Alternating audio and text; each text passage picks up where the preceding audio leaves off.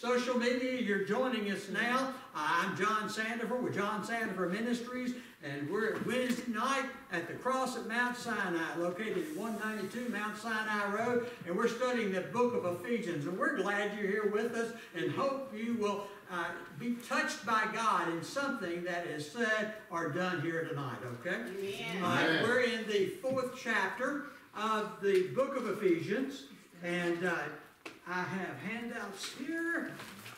Joy, you get one, and everybody else gets one. And I think there would, will be one left over to bring back to me. All right, there you go. Now, you'll notice that they don't start chapter, uh, chapter four, verse one, because last class's handouts were the first three pages or four pages, I believe. What page does it start with? Five. Right, five. You got the la, the first four pages last class, okay? So I gave you the rest of the chapter tonight, whether we finish it all or not. I did, I got it, sure. Okay. Spiritual enrichment, chapter four, book of Ephesians, this is a commentary class, line upon line, precept upon precept, Right, praise God. Hallelujah. Uh, we're gonna just kind of uh, do a passing review uh, of what we finished up on last class.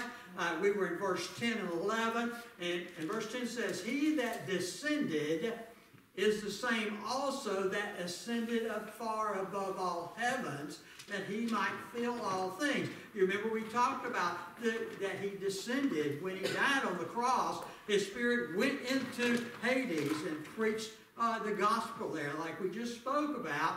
And then after that, he rose again by the Amen. power uh, of God, of Almighty God, Father God, and he ascended up uh, to sit at the right hand of, of the Father. And a lot was accomplished when that happened. Yeah. Spiritually, a whole lot was accomplished.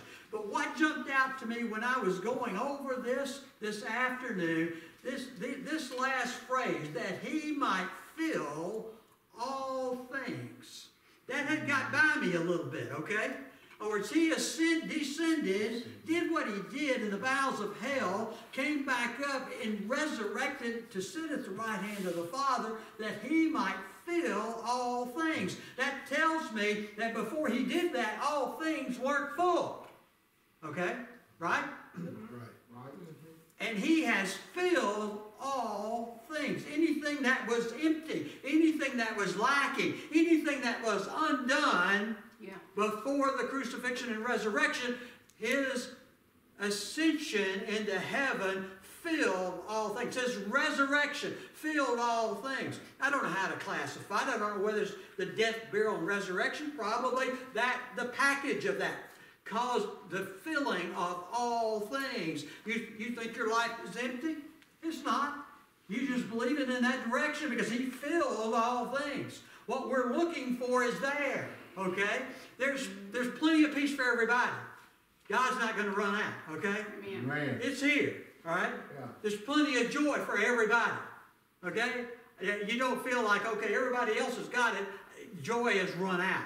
I can't have mine. No, it's there. He has filled everything that was empty. I mean, even to the degree of prosperity, financial prosperity, even. He has filled all that. I believe there's so much go- undiscovered gold in the earth. I've read this in places. There's so much undiscovered gold in the world that there's more undiscovered than there has than there's already in existence right now. Yeah, Can you imagine that? Hallelujah. The way this society values gold, and there's more to be found than what we have in hand. My goodness. That he might fill all things. I'm sorry I get excited about stuff like that. amen. You know, Joy, Joy tells me I, I, I, I talk too loud sometimes. You know, I mean, I, I have people that tell me, man, you get excited, don't you? Yeah, I do. When he's talking about filling all things and the empty places in my life, I mean, that filling is already there. All I got to do is somehow lay hands on it by faith and pull it in. God, God's going to help me. If I start pulling, He's going to reach down and just cause it to come on in. Yeah, Praise God. That's what He does with the things through faith. Hallelujah. Praise God. Okay, I'll get on.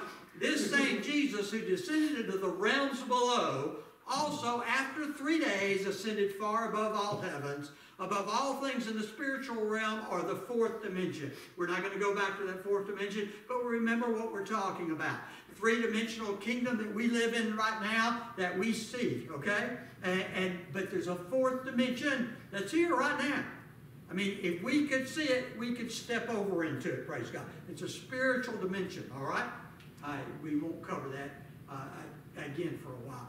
Uh, these two verses, verses 9 and 10, contrast each other. Both of those verses were talking about a descension and an ascension. In verse 11, where we really start tonight, we started last class, but he gave some apostles and some prophets and some evangelists and some pastors and teachers. Now, there's reasoning behind my redundancy in the rest of this class. Uh, you're going to hear things that I've talked about before, okay? I don't get bored, just bear with me.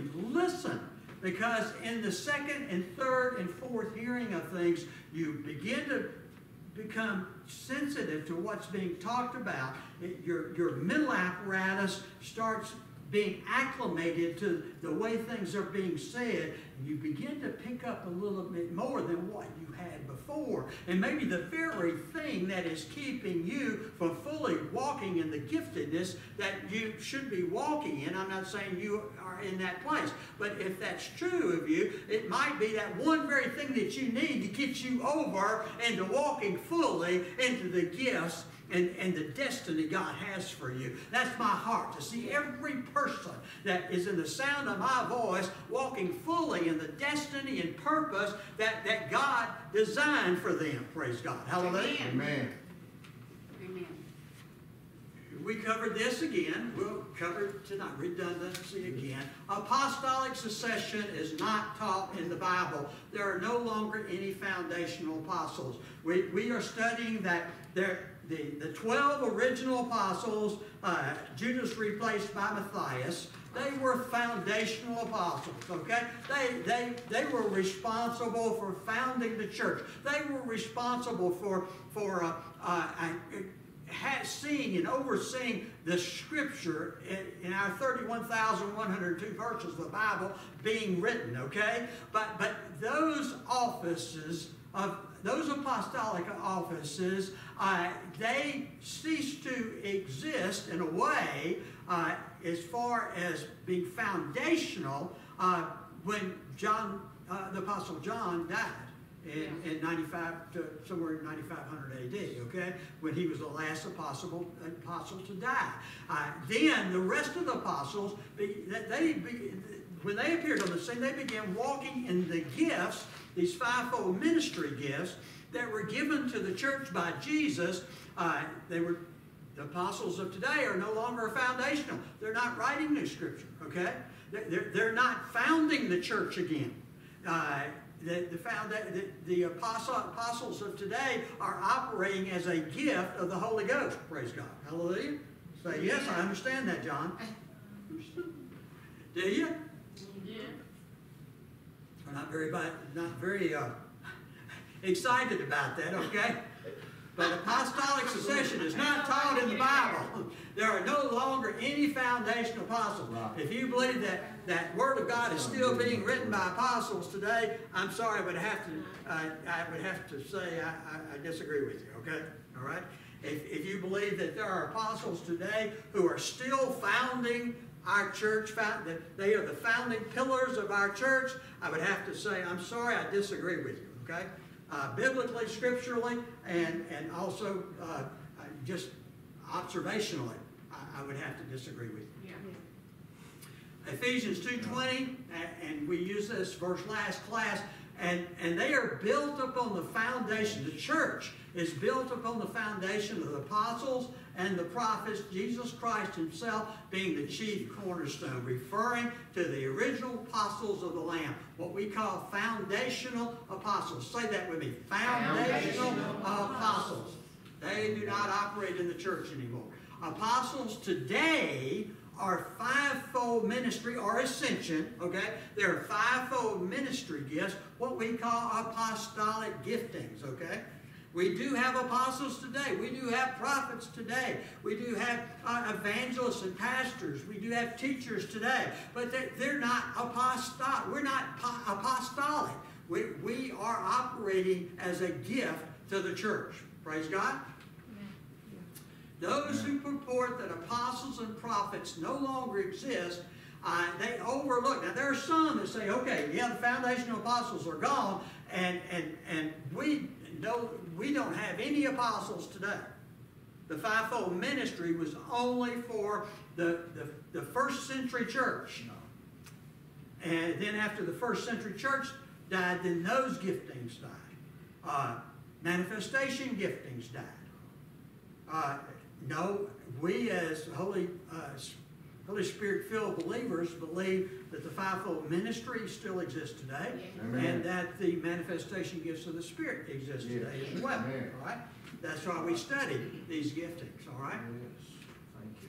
A fivefold ministry rather than a fourfold ministry. We've talked about this before, and the reason we're going over it again is because in the evangelical community, spirit filled people are a minority, okay? You do realize that, don't you? We are a minority in the evangelical community. The, the majority of evangelicals are born again, blood bought, born again Christians, but they are not spirit baptized people. All right? In fact, they we can agree with them for where they are, but they can't agree with us for where we are. Okay? They believe that what we are experiencing is emotionalism or something that has to do with our our, our uh, uh, physiological makeup. Uh, that it's not real. Okay? Uh, now, in that minority group that we are in, the majority of the minority believe in a fivefold ministry. Uh, others believe in a fourfold. But there's more of us that believe in a fivefold than do in a fourfold. And the reason I'm going over this is because somewhere out there, if you congregate with other spirit filled believers outside of this church, somewhere along the line, you're going to run across somebody who believes in fourfold ministry. All right? Now, it's not that big of a deal, but I believe that we should, as Paul said, we should always have an answer for what we believe. Yes. Okay?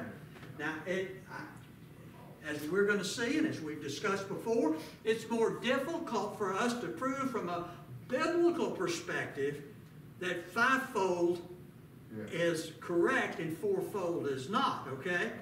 Uh, somebody that really knows their word, you have to be careful because they can chop you to pieces real quick. All right?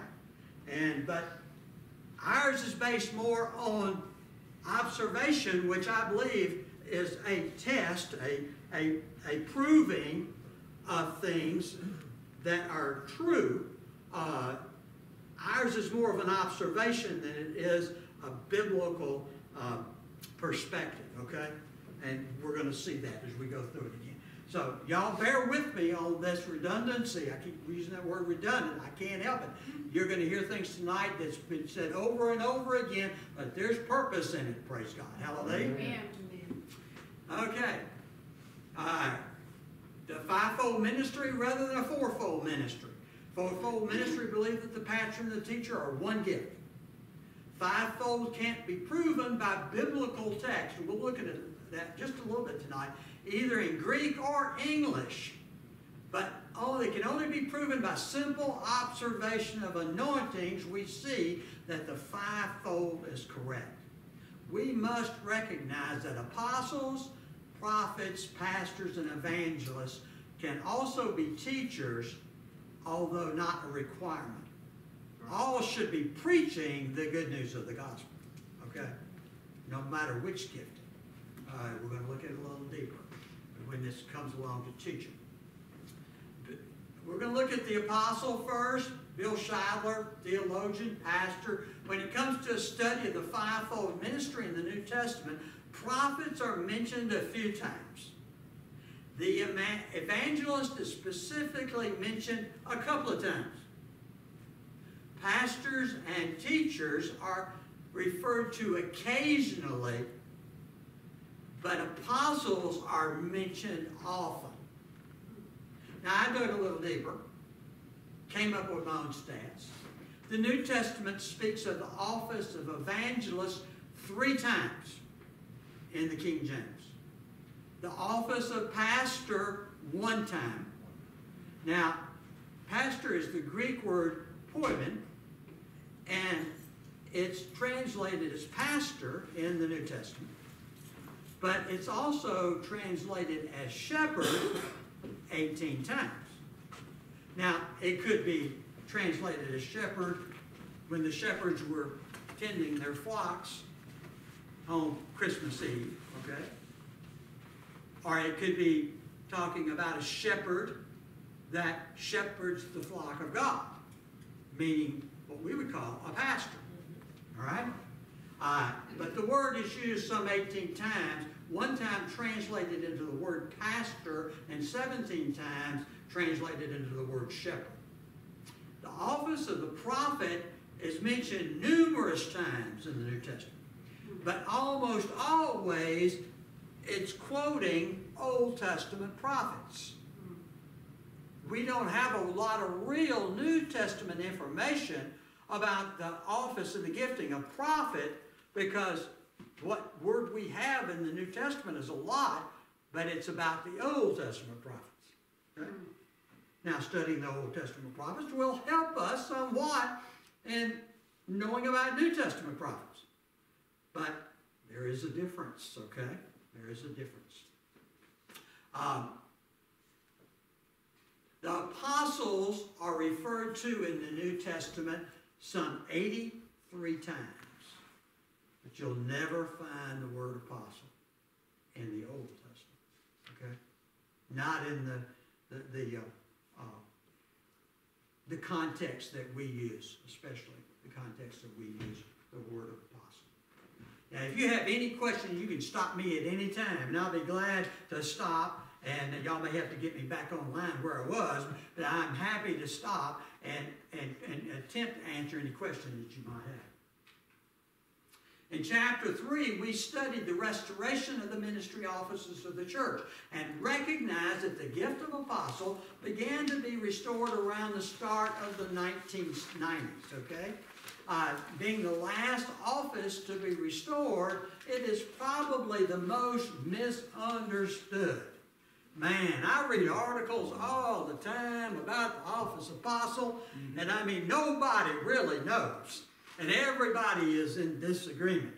I mean, the, the, the, the apostle, for what the apostle he or she is supposed to be, uh, it, it, it's, it's hard to fit into. I'm reminded of Paul when he was on the Damascus Road. Yeah. Mm-hmm. I mean, he, he, he was trying to fit himself as a square peg into a round hole yeah. uh, and, and honoring God. And when, when he got uh, the bright light from Jesus, he saw the, the, the truth and changed, praise God. Hallelujah. But, but as, as we, we need to see how, how to, to get the square peg in a round hole as far as the, the office of apostle is uh, concerned in today's church. All right, do you agree with me? It's, it's, misunderstood right now. See, we, we've accepted uh, the, the, the prophet the church has accepted the prophet It began to rock and roll, to begin flowing with that, that gifting, beginning to, to, to submit to it when it's in authority. See, there are times that our giftings, we're in authority and others are supposed to, to submit. Then we are in submission to the authority of their gift, okay? Uh, right now, you're in submission to the authority of my teaching gift. Nobody's jumping up and, and, and, and shouting, hey, I, this, I, I want to say this, I want to say that. You may raise, raise your hand and want to comment or ask a question. I've given you the liberty to do that, okay?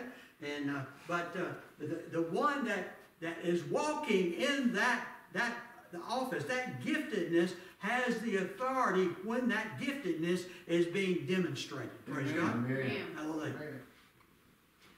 But the apostle is really under, understood, misunderstood. The modern gift of apostle works at establishing, establishing new works, churches, and seeing them come to maturity. There are different schools of thought, and they see some see the apostle planning a new work, setting a pastor in place, and then maintaining, maintaining oversight only to those churches that he or she originated. Then there's another school which says, okay, uh, apostles can also be invited to oversee a church they did not establish. Now, Paul addressed that. He said, If I be not an apostle to others, yet doubtless I am to you. I am an apostle to you. For the seal of mine apostleship are you and the Lord. I established this work, he's saying. You are mine, okay? Now, now, You revealed it. I'm not an apostle to others. Now, they may call him to be an apostle over them. Mm-hmm. That's something different. We have no apostle over this church. I don't see that we need one at this moment in time. But if we ever reach a place where we feel like we need apostolic overship, then we might call an apostle, even though he didn't establish his church, he or she didn't establish his church, or we might call them just for apostolic overship. That would be up to us as to whether we did it or not. I, I, I believe it can work both ways, okay? I do know that the apostle, when they establish a work, a church or a ministry or whatever, and then they go on, they plant a pastor, and they go on to, to, to uh, uh, establish another one, create another one, that they are indeed, they can't be voted out of that, all right? Because God has set them in that. Mm-hmm. And they are apostles over those plantings, over those churches, over those ministries that have been established. What if one falls off a cliff and really goes haywire, John? Well, that's something that has to be worked out, okay? I'm not talking about situations where you have a man or a woman that's real solid in the faith and in the gifting of apostol- apostoleship. And let's say somewhere along the line they get some kind of dementia or, or, or, or something that gets them off course. Well, surely you've got to deal with that, okay?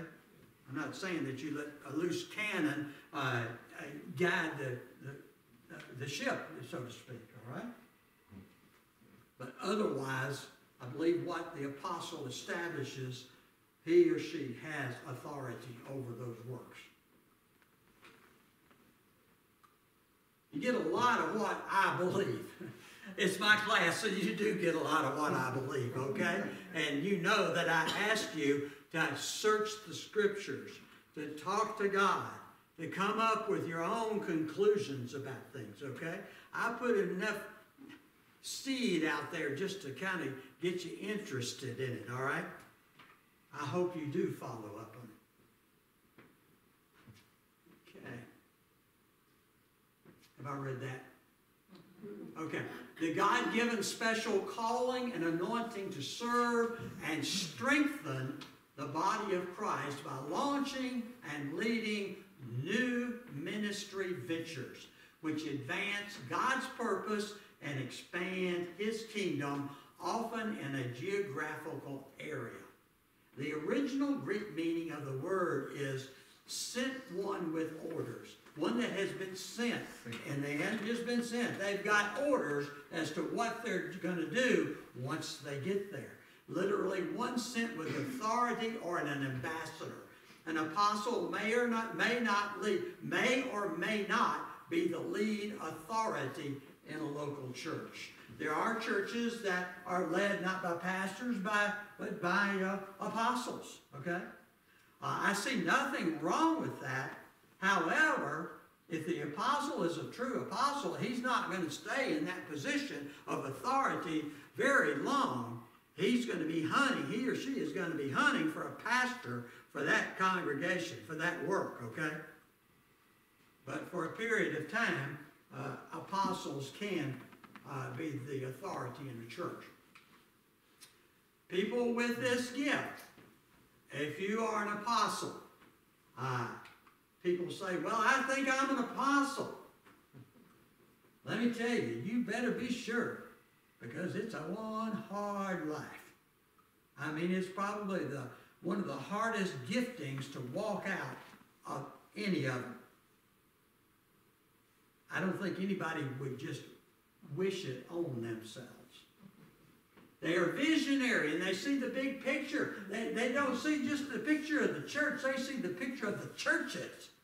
Say they, they see the picture of regional uh, happenings in churches and what's going on in regional boundaries and then national boundaries and then world boundaries. Okay, their their their visual is a whole lot greater than one church or even just two churches. They're visionaries and they see the bigger picture. I mean, real big picture. They have a unique calling to start new endeavors as directed by God. Most often, uh, often those endeavors are churches. They can be ministries. They can be helps of different kinds. I've seen apostles who have begun feeding uh, organizations to feed the hungry around the world. Okay, and you say that well, that's a ministry. Well, yeah, it is, but it, it, it, the purpose of it is to feed the hungry. And, and I, I, I do have seen apostles begin those. Okay, and oversee them. Uh, again, placing somebody, uh, some type of, of, of pastor or some type of director over them to manage them uh, on a daily, monthly, and uh, uh, yearly basis. All right. Uh, the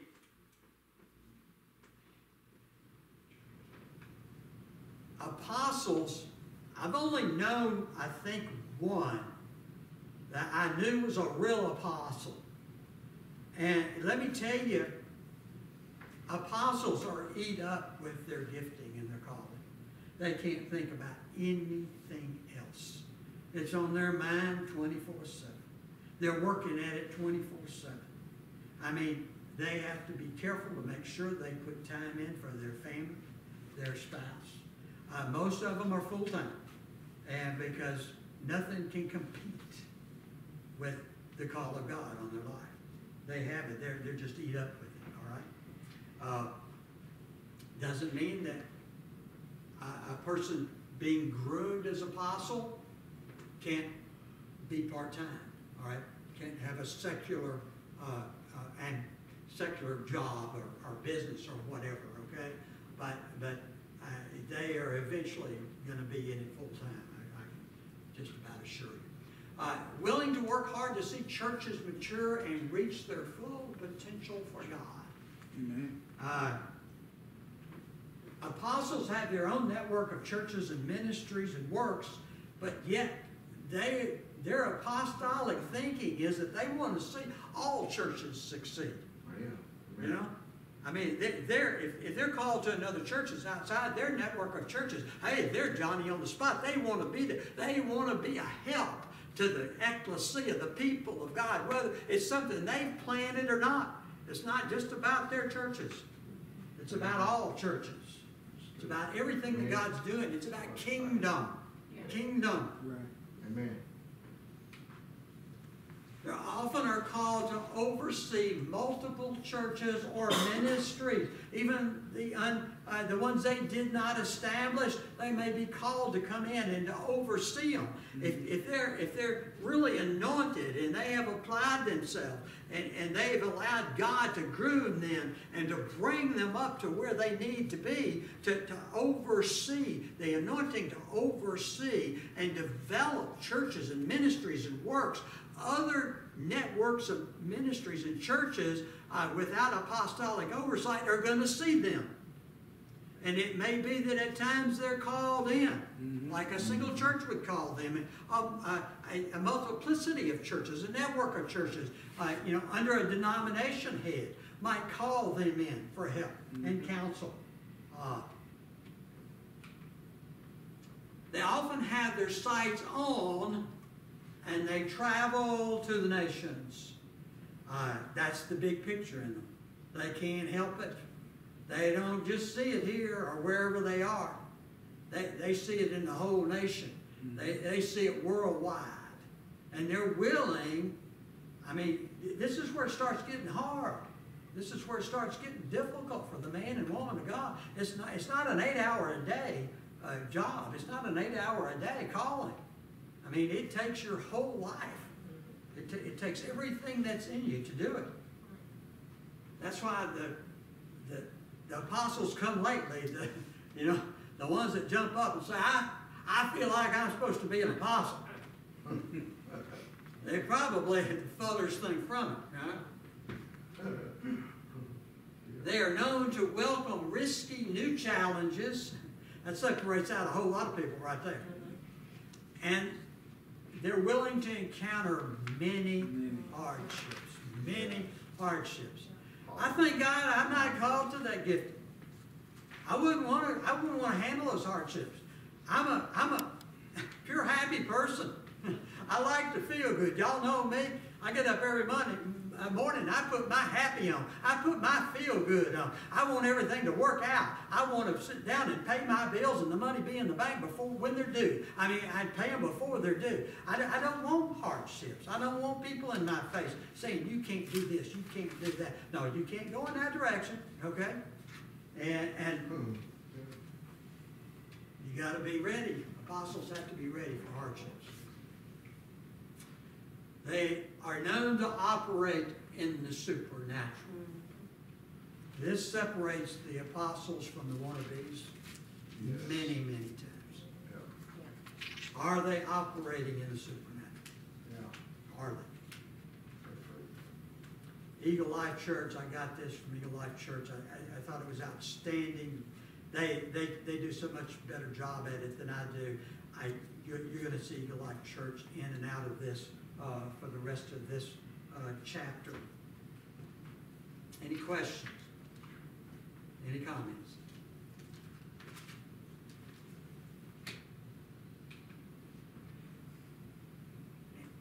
Again, redundant. In addressing the current movement known as the New Apostolic Reformation, the NAR, we see an influx of candidates for the apostolic office. But are all of those God called? Are all of those anointed? Are those men and women carrying the mandate of the apostle, of the apostle for today's world? Time, I just, that's the only way I could answer. Time proves all things. Amen. I'm sure in that movement there are probably some genuine apostolic giftings. Mm-hmm. But I don't know. From my perspective, the binoculars I'm looking through, I don't see it. I, I see the majority of them stepping up and paying their dues to have oil poured on them, and so they could make their business cards and say apostle. Yeah, it's true. Yeah. It's Now, true. I'm not saying there's not some genuines in there, Yeah. but I know from what I see, there's a lot of the others. Mm -hmm. It's true. Be careful of that NAR. I'm not, I'm not, I'm not saying they're all bad, okay? When you pick up on it, and you will in time, if you, if you talk to enough spirit-filled Christians, there's gonna be some of them that are gonna be into it, okay? Eventually. Okay. I, I ought to just hand, uh, uh, the, the glass over to the, to the prophet of the house. I, I, I'm sure he can give us a lot more insight than I can on his own gifts, all right? But the prophet, we're gonna start off with the Old Testament prophet. There were two types of prophets in the Old Testament relating to the way that they functioned. They were the, the seer and the nabi, okay? Now, uh, in Hebrew, there's two words for seer, okay? And I, I, I, I know good at Hebrew at all, okay? I, I just got it up there. That's all I did, okay? And, and, and one of them means seer, okay? And it's Hos, H-O-Z-E-H is the first word, is how we pronounce or spell it in English. And the second one is R-O apostrophe E-H. And it also means seer, okay? All right, now, the difference, the ministry of a seer is to see a vision. And this type of prophet saw a vision of what God wanted him to speak. And I don't say him or her when I'm talking about this prophet because Old Testament prophets, I believe they were all, correct me if I'm wrong, but they were all men, okay? Uh, it's not true of, of the gifting of prophet today. We have men and women that operate and in that gift. Okay, so they saw, the seer saw. Say, the seer saw. The seer saw. That should, that, that, that should be easy to remember. The seer saw. Okay, the next, the Nabi, okay, and there's the Hebrew word for it. Anybody wanna take a shot at that? Okay, all right. I know it's pronounced Nabi in English, okay, or it's close to how it, it's supposed to be pronounced anyway, okay? Now, it means to call. The ministry of an Nabi is to speak for the Lord God to the people. This caliber of prophet, not that he was any greater than the seer, I don't believe that there was a, a, a, a, a one that was more important than the other, okay? They were just different. This caliber of prophet spoke spontaneously, not seeing as the seer did, but just a gushing forth of the words of God out of his mouth. We, we, we see the we see the seer that sat in his cave and meditated on God until God came upon him, almost like a mantle bringing a vision. And, and, and once he saw that vision, he was confident to begin to step out and speak to the children of Israel what God was saying to them. Mm-hmm. Then the other, the Nabi, he's spending his time with God as well, but he gets no picture.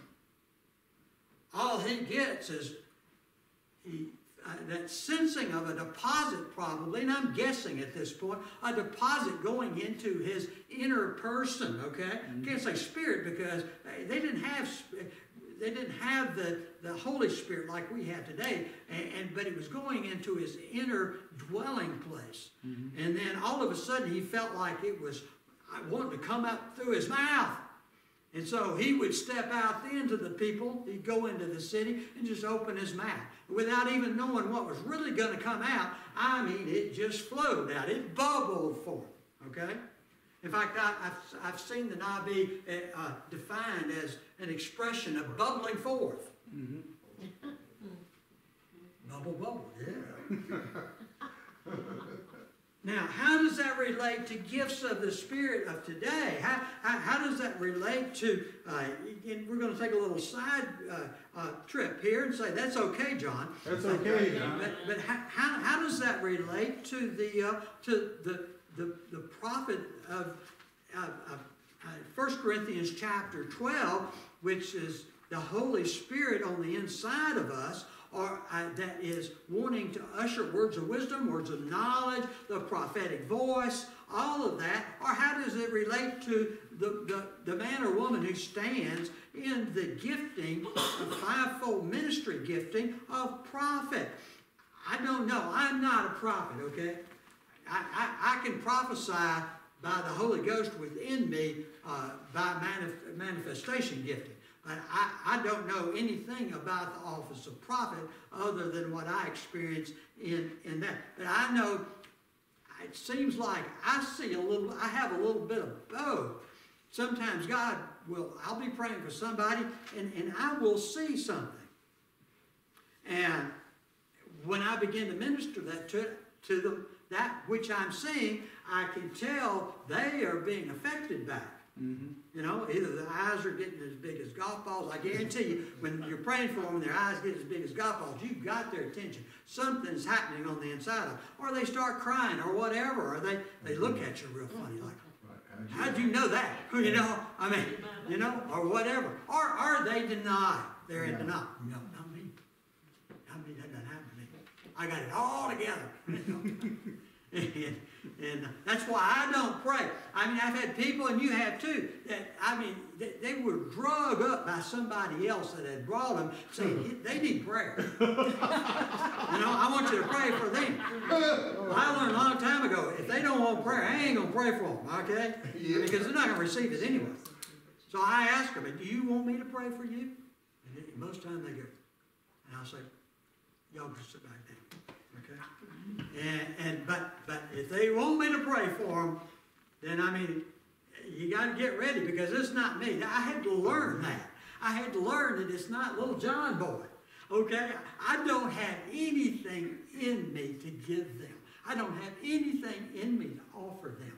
But when I take that step, and I stand up and I'm willing for that person to come up and, and ask And if I'm willing to put my hand on their forehead or touch them on the shoulder and make, make a point of contact there, and, and God will do the rest. Mm-hmm. Amen. He begins to come up on the inside of me, and I do things and I say things that I have no idea. I would not have come up with that. All right? But I do know this. My whole point in it is, is that when I'm ministering, I get sometimes I get a picture, but the majority of the time, I get no picture. It's just a bubbling up. Lay my hands on them, and I start praying in the Spirit a little bit, and then all of a sudden, here it comes. And it, it comes out of me, and sometimes faster than I can speak it in English almost. I trip over my words because it's coming so fast. And, and, and, I, and it does the work. I don't, I don't know how, but it does the work. Does it do it every time? No, I wish I could say every time that that worked, but it doesn't. But the more I'm willing, and the more that I've paid the price in prayer, it'll work.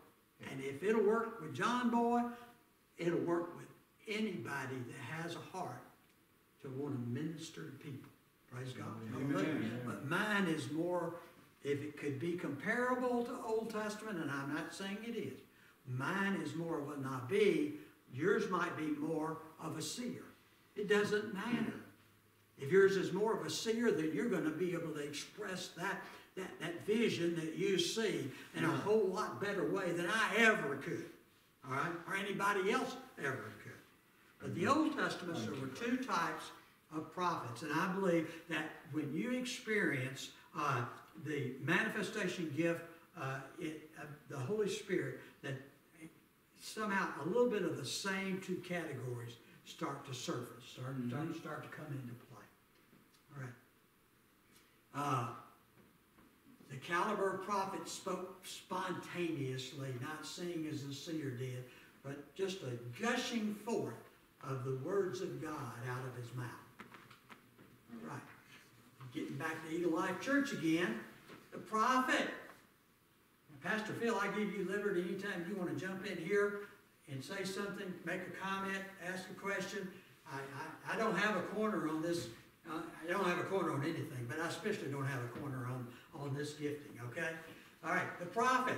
Eagle Life Church says, in contrast to the Old Testament prophets, the New Testament prophet did not exist until Jesus ascended on high Hallelujah. making the Old Testament model obsolete. So therefore, who was the last Old Testament prophet? Would it be John? John the Baptist? John the Baptist. Ah, John the Baptist, operating in New Testament times, but he was the last of the Old Testament prophets. Wow. Wow. okay. Right, we see some scripture there. One of the one of the root words for prophet is to make known one's thoughts, to declare. Therefore, the prophet makes known and declares the thoughts of God and both both foretelling and forthtelling. Uh, now, foretelling and forthtelling can be confused a little bit because foretelling is just predicting the future. It's just telling you what's going to happen out there, okay? And forthtelling is bringing that future up here and showing it to you. Okay? Still the future, but Mhm. you brought it up here. That's forthtelling. Mm-hmm. It's bringing the future and showing it to you. And I can tell the difference when a prophet is foretelling and forthtelling. Because those that are foretelling, I mean, you see what they're talking about through the expression of their words. One's not better than the other. In fact, probably they do both, you know, almost simultaneously, okay? They could go from foretelling to forthtelling back again and whatever. Mm-hmm.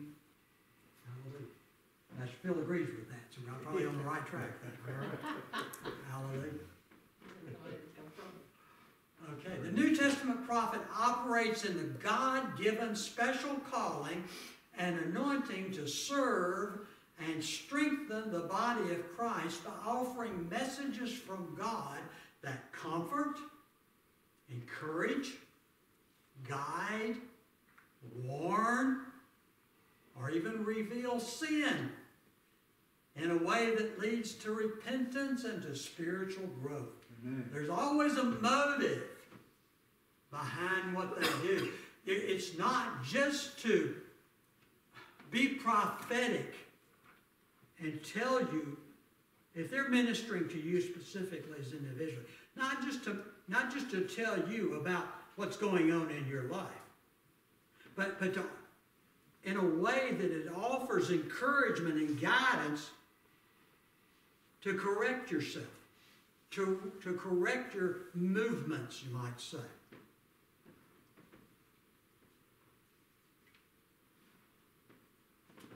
See, see, I wouldn't do well as a prophet. I don't know what it is. I'd say, let's burn them today, God. you know, I mean, Elijah called that. Was it Elisha or Elijah? Call that fire down. Yeah. Burn them. Now pour more water on them. Do it four or five times. Get them all wet. Then burn them. Then burn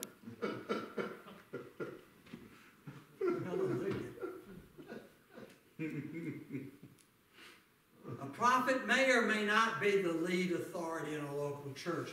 I have seen prophets establish churches.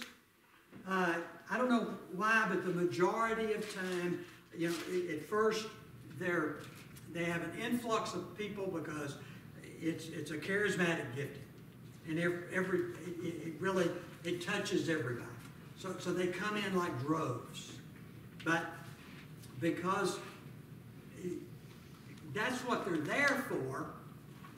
When you begin to bring other offices and giftings in and establish doctrine and, and guidelines and everything, those people that came in, they didn't come in for that. They, they came in just for the prophetic. Right. When the prophets fall, but they have a, it has a tendency to just kind of dwindle. All right, I, I, I'm not saying a prophet can't lead a local church and be authority in that local church, be a good authority in that but you just don't see it happen very often. God has something else for prophets. All right, I mean the, the job they do is very important. All right. People with this gift, men and women, are recognized by the church for communicating God's word through a variety of means. When you get that foretelling and forthtelling in operation, in a ministry, especially a vocal ministry, in front of the congregation, then there's a variety of things that are going on. Variety of things. Uh,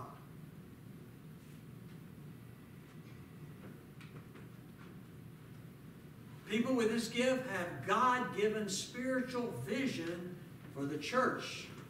You know, heard me talk about it. There's really two types of prophets today. There's there's uh, uh, prophets to the nations and prophets to the people. I believe. All right, uh, that's my opinion. But I, eh, the prophets to the nations. That's where you're going to find them. Out there. Okay. Prophets to the people are going to be found in here. And so they have a spiritual vision for not only for the ecclesia, but for the church itself. The government of the church, the, the, uh, the policies of the church. They, they have good input into all of that. The prophetic gift has. People with this gift share strong biblical convictions to challenge others to challenge, to exhort. Prophets are normally good exhorters, and they challenge others through biblical convictions. They're able and willing to apply church discipline and correction for false teaching. Now, really, out of all of the giftings in the fivefold ministry, I believe this is the only one that is uh, categorized to bring correction for false teaching. Uh, based on that, Pastor Phil would have every right, if he's moved so by the Spirit of God, if he detected something in my teaching that was not in line with the Word of God, I think that most prophets would approach the teacher individually, privately, and discuss it. But he has the right and privilege to, uh, to bring correction even in front of the congregation. Ooh.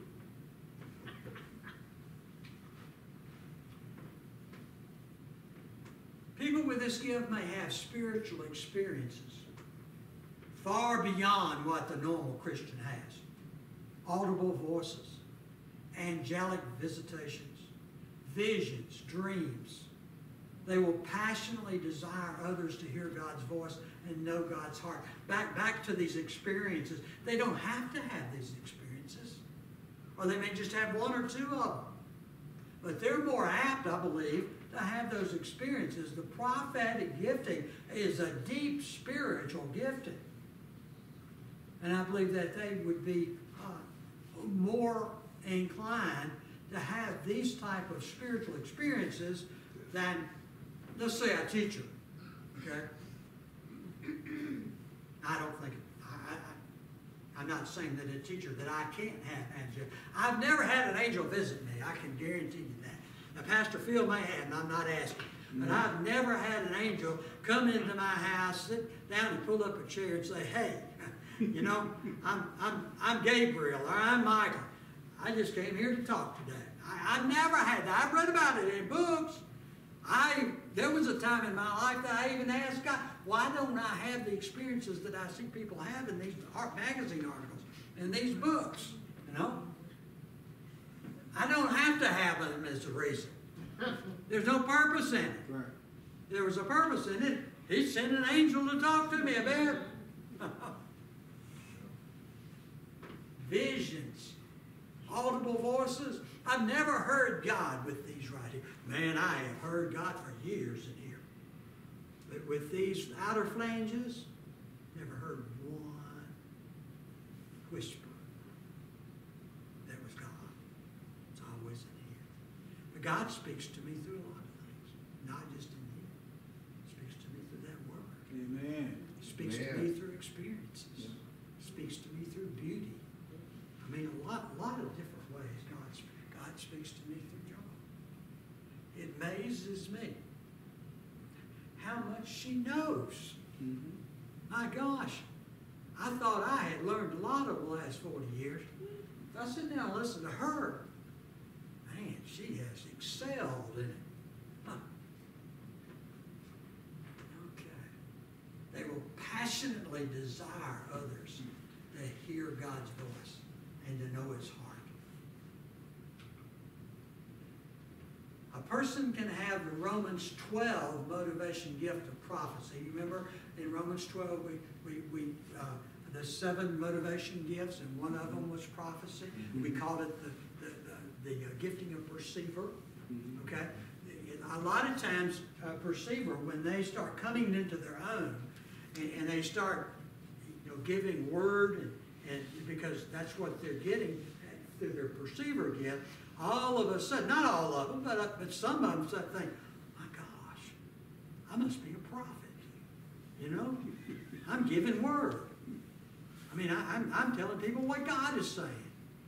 And, and, and so it's, they are definitely a prophetic voice. And I believe that, that prophets who are being groomed, not by people, but by the Holy Ghost, for that gifting, that office of prophet, they're being groomed for that. God is grooming for that. I think that the church should call that person, man or woman, a prophetic voice because they haven't fully received the mantle yet of prophet.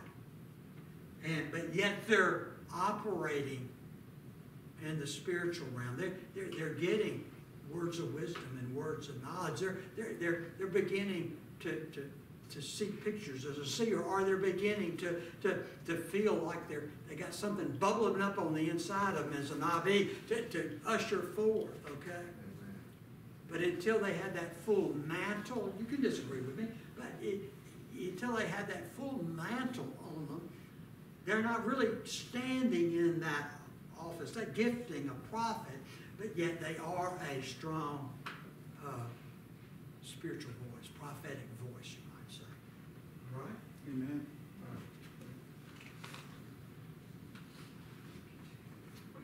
Okay, evangelist. Okay, we're gonna, it's seven o'clock exactly. This is where we will stop because uh, evangelist is a good, uh, a good uh, uh, gifting to, uh, to talk about, to get out in the open and to talk about it and what's really biblical about the gifting of evangelist, okay? And uh, we're gonna see some things, uh, I, I even get some scripture that uh, I enjoyed. I so enjoyed Wayne's message Sunday morning. I mean, he sat down on the very scripture that we're going to use in, in, in uh, uh, talking about some of these, especially evangelists, as we go along. And, and uh, the uh, I have my opinion about some of them, and you have to understand that I did write this before last Sunday, so mine was already solidified by the time that he, not that it means anything, he got it just as well as I did, praise God, by the Spirit of God. But they are a little different a couple of, in a couple of areas, and not anything that, uh, opinion sometimes is a good thing, praise God, hallelujah. So next week we will, uh, start with evangelist. Any questions? We'll say goodnight to our social media. Thank you for visiting with us. Hope you had a good time and hope you'll return.